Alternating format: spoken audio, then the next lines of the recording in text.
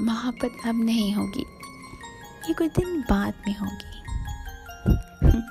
गुजर जाएँगी जब दिन। यकीनन ये उनकी याद में ही होगी।